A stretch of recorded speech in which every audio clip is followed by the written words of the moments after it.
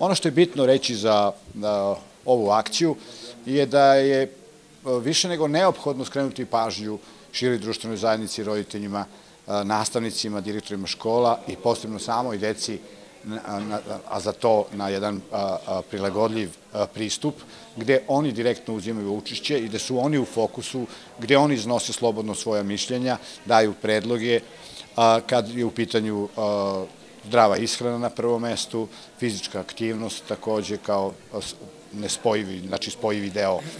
zdrave ishrane i zdravog života, naravno više fizičke kulture, više sporta, više igara u školi, a to će omogućiti mnoge situacije koje je ministarstvo planiralo pored ove organizacije prijatelji dece grada Niša, da uvede polako bazične sportove nazad tamo gde im je i mesto.